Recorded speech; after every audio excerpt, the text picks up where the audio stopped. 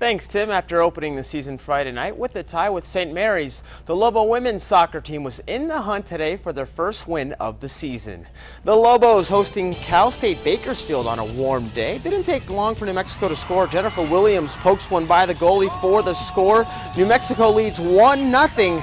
Lobos on the attack again. Jael Fanning with the beautiful ball to Rachel Montoya, who does the rest. Montoya using her left for the goal. You gotta love that if you're a soccer guy. New Mexico blows out Cal State Bakersfield 4-0, winning their first game of the season. The Lobos are now 1-0 and 1. Up next is Florida State and Tallahassee on Friday.